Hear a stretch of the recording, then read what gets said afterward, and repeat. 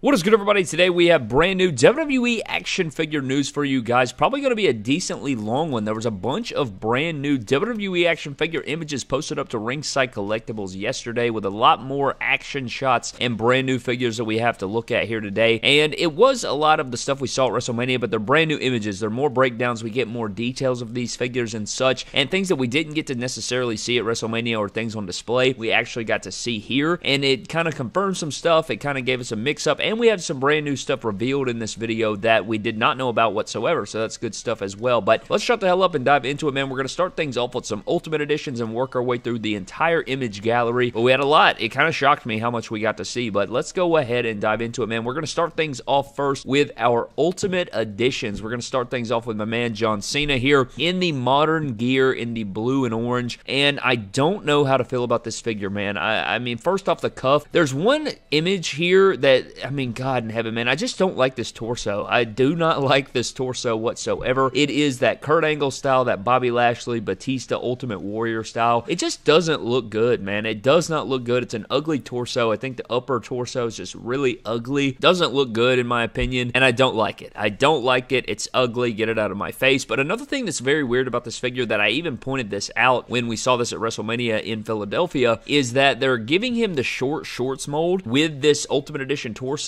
with high top sneakers, which is something we've never seen them do before. They've never had high top sneakers with the short shorts mold before, and he didn't wear these. I mean, I don't I don't know why they did that, but it's the case. This is what they're doing here. And this shoe mold is new. It's newly tooled. It's a little bit thicker, but I was told that this sneaker mold's not going to last very long. So apparently they're in you know new works already working on a brand new sneaker mold. So we'll see about that. But I like the shorts detail. I like how he has the USA stripes on the belt. The USA pocket looks good, and I like that they even have a removable towel out of the back pocket, which I think is another cool detail here. And I like the cloth goods towel that we saw at WrestleMania. It was on display. I just hate this torso, and I really wish this was a throwback Cena, but it is a gear that we have not seen. It's a gear we have not had in figure form from Mattel, so I will, of course, be purchasing this picking this up because that's my guy. But I just have to point out this figure's weird, man. I, I I, don't know. I just am not the not the craziest about it. It does have you know new head sculpts, or it basically has.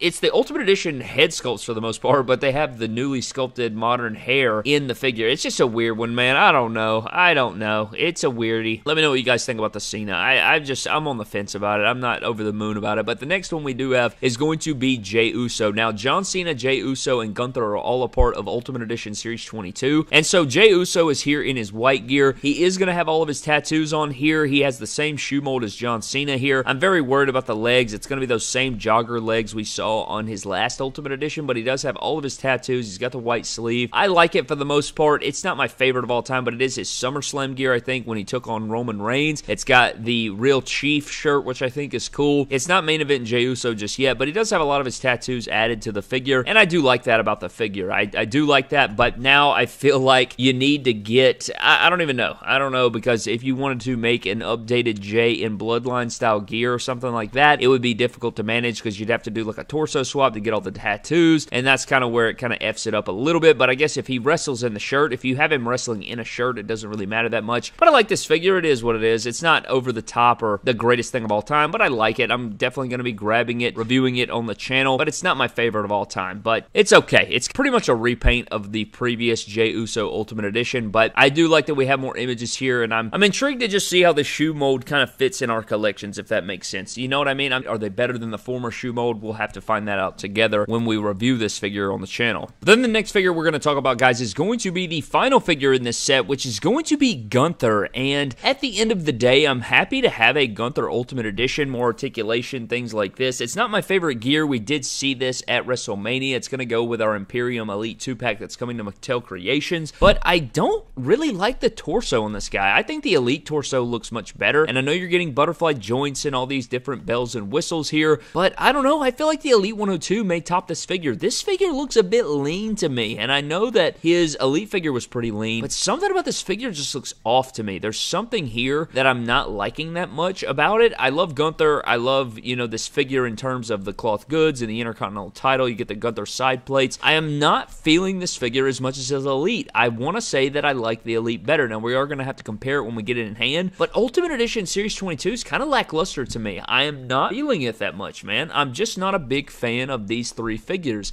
I think that some of the things about it, I'm just not the biggest fan of, man. I, I really can't put my finger on it. I guess it's because it's uh, like the John Cena, the torso's ugly, and the head sculpts are basically just updated, modern, you know, what have you about it. And they did the weird thing with the Jack torso, and then they have the high top shoes with the shorter shorts mold. Then you got the damn Jey Uso in there, which is basically a repaint. I am hyped that he has all of his tattoos, but it's another white gear, and it's not the gear necessarily that we wanted. The shirt's not cropped. Head sculpts are what they are. Then you have Gunther here. It's an okay attire. It's not my favorite attire ever. I honestly would have preferred black, but I really am not a big fan of the screaming head sculpt either, and even the grimacing head sculpt I'm not the biggest fan of. And the open mouth head sculpt again, these yelling head sculpts, they don't look like they're yelling. They just look like their their like their mouths are open. He looks like he's at the dentist. He doesn't look like he's angry yelling. I think it's the expression in the eyebrows that is throwing these things off. I, I don't know what it is, man. The Kevin Owens, the Randy Orton, the RVD, the Gunther. There is a bunch of uh, these yelling head sculpts that don't look like people are yelling, and sometimes they do, and sometimes they look like this. And even his thighs, there's something weird about the way the torso looks through the thighs. I, I don't know, man. Am I am I tripping? It just looks a bit off to me. Is this a new thigh mold? I don't know what's going on with this right here. It's like the thigh and the knee are the exact same width, and it throws it off or something. I don't know what's going on there, but I don't know. Maybe I'm wrong. You guys can let me know what you guys think. I'm just giving you all of my thoughts as they. I, this is what I do. I pull up the images and I react to them straight off the cuff. I don't, you know, I come in here and I'm trying to react to these things and tell you my thoughts all at once, and you guys can let me know. I like to listen to your feedback down in the comment section below. But yeah, man, look at the elite. Look at the elite up next to the ultimate. It's definitely the elite's much better. The arm size is better. I like the torso better. The thighs are better. It's just that that ultimate edition Gunther looks awful. To be honest, like the more I look at it, the more I get upset. I, I just I'm not a fan. I'm not a fan. Let me know what you guys think. But then we move on to the repaint or the greatest hits Ultimate Edition Batista. Now this is great. This is a guy that can rock this torso. This is a guy that can pull this torso off. Now I think this is a brilliant repaint. Now you can talk about you know re-releases and all these things, but at least this figure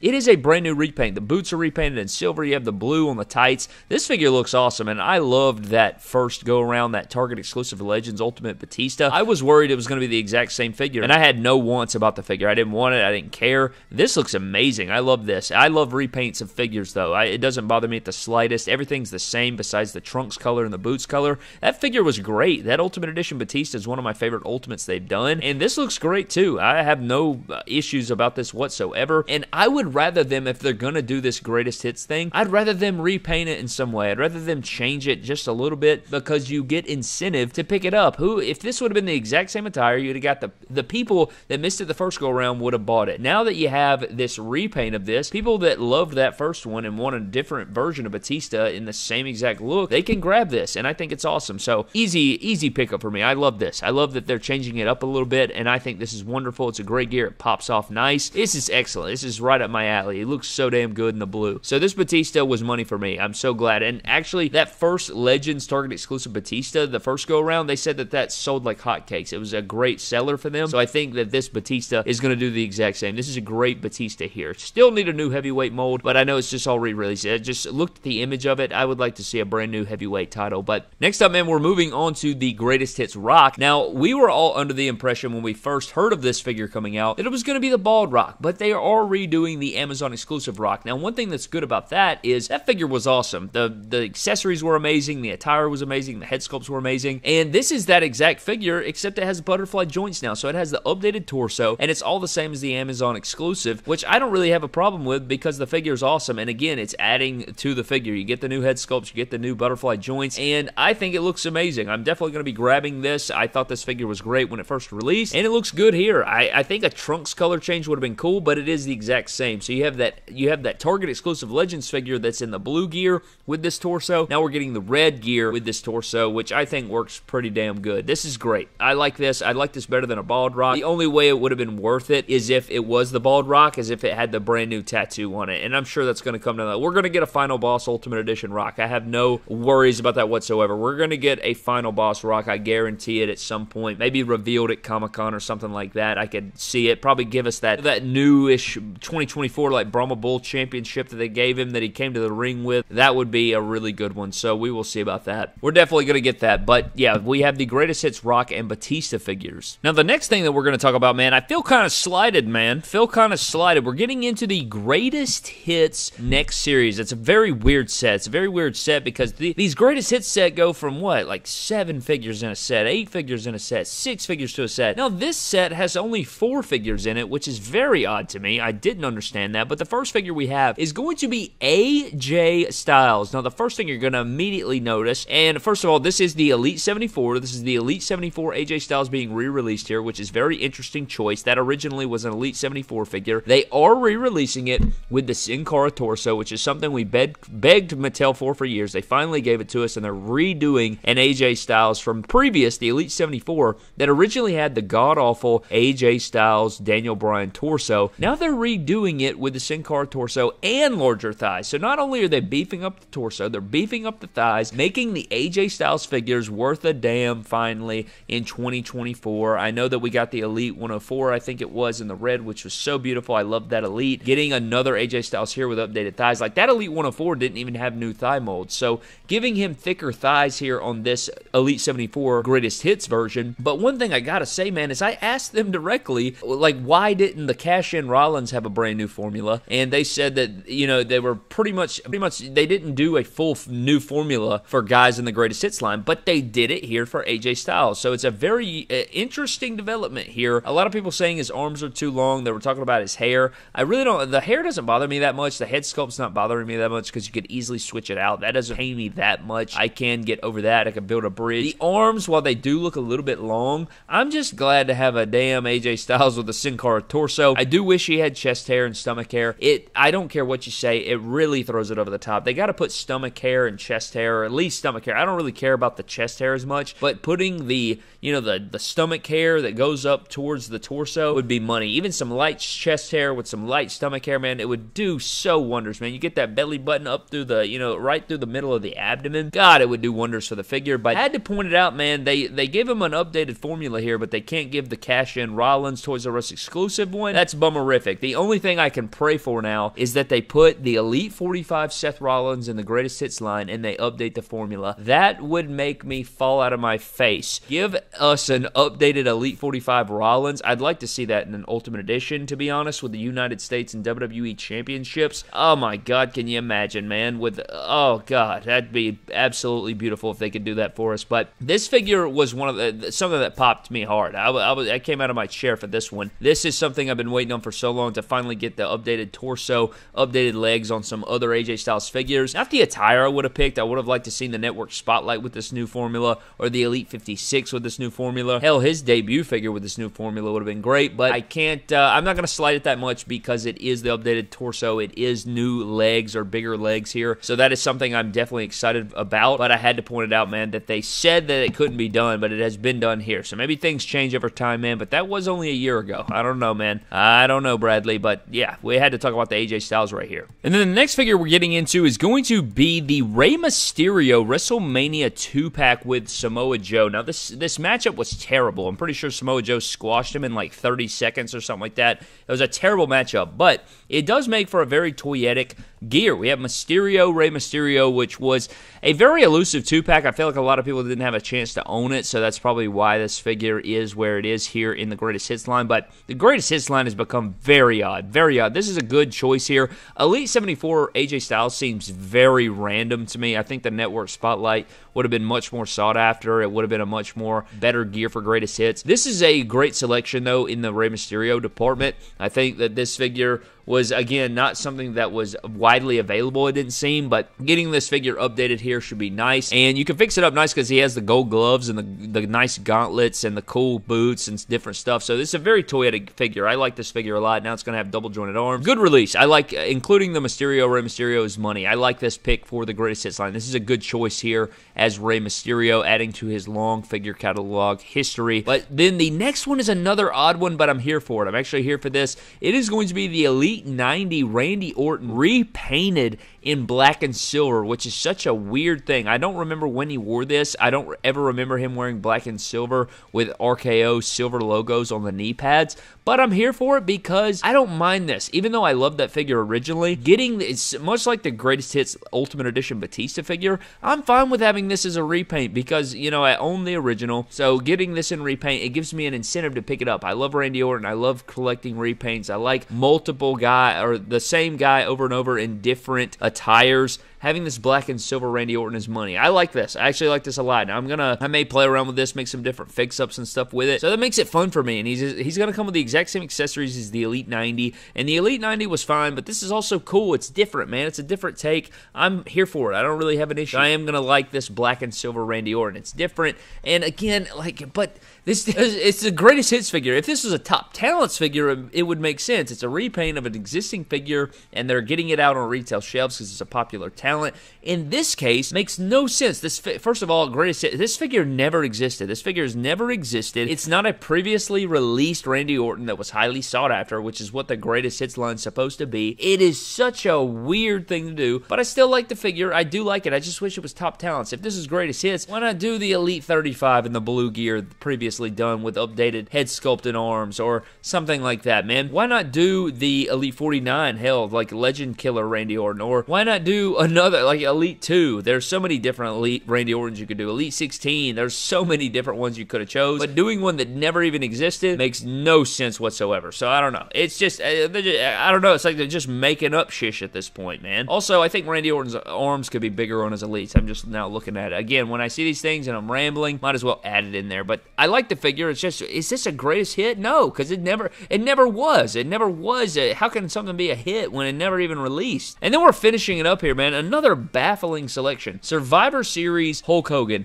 was this figure not? I mean, this this looks to be. Uh, this is not the same head sculpt. I don't think that they used on that original figure. This is one of the Ultimate Edition head sculpts, I do believe. But uh, this is just a run of the mill Hulk Hogan. I think they're doing this because it's a run of the mill Hulk Hogan, and it's going to be like a top talents figure. It's going to be on the shelves for people to grab. But I don't think. I think this is the Survivor Series Elite Hulk Hogan. But I don't remember this being really a greatest hit. This figure didn't come out that long ago. It's just another weird choice to include in the greatest hits line, man. Do I need to make a, uh, just a whole video talking about greatest hits figures? I know we've already done it once, but I don't know, man. This is a very baffling set. It's a very uh, just weird set of a Raw. I don't really like this inclusion. It's another standard Hulk Hogan, and it looks good men on card, right? Because it's got the damn championship, and he's got the Hulk rules, and he's wearing the belt, and it's in the packaging, and all these different things, man. But this is not this is not a greatest hits, man. This is not a greatest I just uh, I don't know. I don't know. You you guys can let me know. Am I wrong here? You let me let me know what you're thinking there. But I don't know. I just a baffling selection. Very weird greatest hits line, and you're like lowering it to four figures. Just all over the place with this set, man. What what a weirdie. But after our greatest hits figures, we are diving into WWE Elite Series 110, starting out with our Tribal Chief, man. And I will say this head sculpt looks way better than it did at WrestleMania for whatever reason. I still think the hairline's too shallow. It's his forehead's too small. It's like the hairline's way too close to his eyebrows. So expanding that would have helped this figure. But I will say this figure definitely looks better than it did at WrestleMania for whatever reason. But they can't get the damn fade on the haircut on the sides. I'm gonna see what I can do in surgery, see if I can acetone the sides. But his his forehead's way too small here,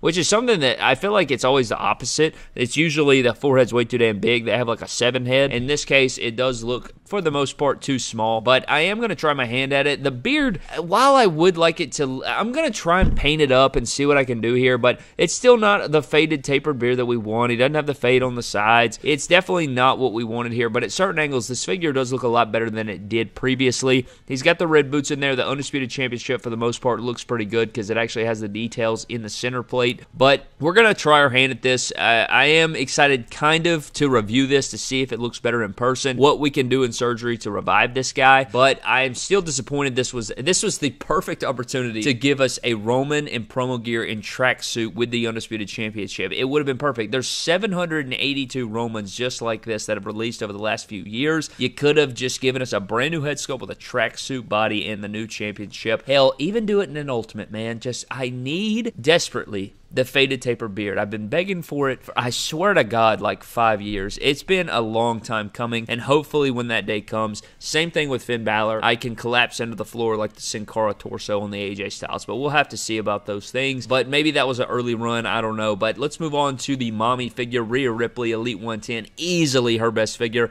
Some people dragging this figure online saying that it was too skinny. Like, Brad, did you see her first two damn elites, Brad? Did, were you around for that, or just a casual scrolling through the thing and you see this Rhea Ripley, man? You weren't you weren't here, man. You weren't here for the skinny ass Rhea Ripley figure, so you can drag on, Brad. This right here looks so much damn better than her other go arounds. Not even close. Now I will say it is a it's a one off attire. I do wish that it was in black. I think that's what we're missing, but I think we're gonna get an Ultimate Edition Rhea Ripley showed off very soon, and hopefully that will be in a black and purple with the women's championship and do all the bells and whistles that we want. Hopefully it will include the sternum tattoo, and hopefully it'll be all right in the world. But I love the white gear, as you guys know. I love white attires. I love this head sculpt compared to her other ones. It's not my favorite head sculpt ever, but it's certainly better than her other ones. That same damn Rhea Ripley head sculpt that they have just been releasing and releasing and releasing. But the tattoos look good. The only thing missing is I would like to see a new Rhea Ripley with black attire with all of her tattoos showing. I'd like to see the sternum tattoo and all the different things. That is what we're missing now. But this Rhea Ripley looks so much better than her other figures. It's not even close. And I know it is a outdated championship, but I don't really mind it because it's an updated Rhea Ripley. It's way better than her other figures. So that's good for me. I like this Rhea Ripley a lot. Great looking figure here. We're moving on to Pete Dunne here. Now it does say Butch on the packaging, but you have a regular version in white, and then you have the Chase variant in the gold and green. And I like both of these figures. I think that his legs look a bit weird without pins in them. They just look a bit. It's like ever since they switched to the pinless joints, it's like the legs lost some details. They don't look as you know. They don't have like the striations in them, and they don't have like the muscular builds. They just look a bit flat. So I don't know. These legs look a little weird to me, but I don't know. And then the jersey is very loose on the body when it's supposed to be tight to his biceps. So that's also kind of a thing. But I will say I love Pete Dunne. I like these new head sculpts. You know, I'm not going to be calling this guy Butch. He's going to be Pete Dunne to me, damn it. But I like both of these. These are easy pickups. I think Rhea Ripley as the chase would have been better, to be honest. Give us one in white gear, one in black gear. But Pete Dunne, you know, he probably won't get another figure for a while. So I'm okay with getting this Pete Dunne here in Elite Series 110 and I'm excited for it. I love Pete Dunne, so this is money for me. And then we also have a look at Bruno, who this figure's been a long time coming too. It's kind of a repaint of the Elite 25, not kind of. I mean, it pretty much is. It does have double jointed arms. It's got it's got the Hall of Fame podium, which I like, but it is a repaint of a previously released Bruno Sammartino. But at least it's a good figure. I like this. I don't really have an issue with this you know, it's, you know, say what you want, having a new head sculpt and all these things, I think that a repaint's fine. A lot of people missed out on that first version. I don't think you need 700 versions of Bruno, so this looks good. I like the Hall of Fame plaque. The re release of the accessories works for me in this case for Bruno Sammartino, And then we also have a look at only Elton Prince from Pretty Deadly because they didn't show off uh, Kit Wilson for whatever reason. They didn't do that. So hate to see it, but the figure looks good. We did see it on display. They have their goofy looking head sculpts. Mattel's in their goofy head sculpt era, but he does have pinless joints and different things going on. These figures look like they're going to pose around pretty good. I like the boots. I like the colorations on the tights and the cloth goods look good. Even if, you know, they are a bit goofy, I think they're going to get the job done. But we did not have full images of all of the tag team, just the one half there with our pretty deadly. So Elton Prince is getting figure here, so that looks okay. And then we also have a look at some basic figures. We're getting into Kayden Carter here, which we did see on display at Mania. I think this is a damn good looking basic in terms of head sculpt. I like that she has her tattoos on there. It's just the paint apps that look flat, or not the paint apps look flat, it's the sculpts that look flat. Her paint apps are fine. I think the head sculpt looks really good. I think they actually capture her likeness, but I think that these sculpts are just very lacking in this juncture. But we also have a look at John Cena in the green. It's an okay one. He's got the Killing Me Smalls hat bill, which I hate, but at least he does have the sculpted on bands and the shirt. It's a cool basic. I think this is a good, necessary upgrade to John Cena basics. They're not just the same flat stuff. I think this really adds to John Cena basics and makes them worth the pickup to previously released John Cena basics, so that's cool. But we also have a look at the Python Power Hulk Hogan, which is another figure that, my God, man, they just beef his figures up. We just talked about this in the video the other day where this Hulk Hogan is, I mean, good God, man, they they just give him all the sculpts. They give him all the sculpts. Got the bicep swivel. He's got these new legs. This figure's almost a damn elite just standing here right here. You put a bandana on this guy and you're off to the races. But solid looking Hulk Hogan here with all the sculpts. And then we have Hot Rod Roddy Piper. You know, it's hard to say, but It's okay. I don't really care for the head sculpt, but it is that t-shirt series, which to me, t-shirt figures in basic form look better than regular basics. But then we have Carmelo Hayes, and I think this looks nothing like Carmelo Hayes. And it, I think this is the Elite 105 head sculpt, which also really didn't look like Carmelo Hayes. But the gold gear looks fine, but this is a weird looking head sculpt. I'm not a fan of this Carmelo Hayes figure. I, yeah, I just am not a fan. I don't know about you guys. You guys can let me know. It kind of looks like Montez Ford a little bit or something with a stash. I don't know. A, a very odd one there, but we also have the clear version of the John Cena. Now, I'm pretty sure this is just a, this is the Chase variant of the regular John Cena. I think he is in clear here with the red, but it's cool. I like this. I didn't know that this was a Chase figure at first, but it is his 2015 style gear there with the red and yellow, which looks good. It's just, I, I'm excited to have this figure or get this figure in hand. I still don't like that they painted the eyes, but it's okay. It's okay. And you can still see the pegs sticking through there, which is kind of weird, but this is definitely worth the pickup. Seeing this in person looked really cool. This is an easy buy, especially for the Cena collector that I am. I'm definitely grabbing this as we discussed the other day. But then we're finishing it up with some Championship Showdown packs. We have Mommy and Dom here. I do not like this battle pack. I think that the Rhea figure just looks so odd. I hate how flat it looks and just the, I don't know, man, the head sculpt with the flat paint apps. Even if I do like the She's My Mommy shirt and stuff, I don't know, man, kind of a hard pass. If this had the Elite 110 head sculpt on it, I think it would be more worth the grab. It would make the figure look a hell of a lot better. And maybe you could do a head swap if you wanted to do that, but that would mean that your Elite 110 would have this god awful head sculpt on it. So it's just the sacrifices you got to make. But the Kane and Mankind battle pack is kind of cool. I like that. You know, it only comes with one World Tag title, so that's kind of crap uh, in terms of you know. I guess you'd have to buy two of them if you want two of the World Tag titles. I like how they're painted though, and the Mankind looks solid. We've kind of seen that before, and then the Kane we touched on just the other day as well. And it's a solid double sleeve Kane for a cool display if you want to do that. I like the glove mold and the sculpts and everything like that. Even uh, though I really wish the left gauntlet was sculpted on